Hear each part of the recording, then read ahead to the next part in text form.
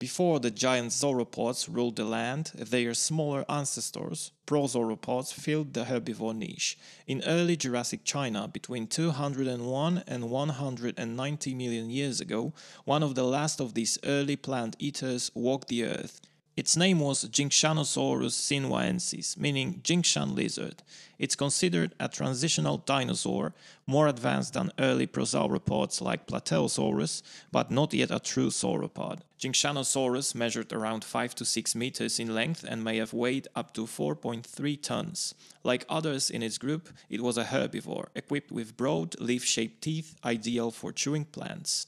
It was likely primarily quadrupedal, though it may have reared onto its hind limbs to access taller vegetation. This mix of features makes Jingshanosaurus an important link in the evolution from small, long-necked plant eaters to the massive sauropods that would later dominate the Jurassic landscape.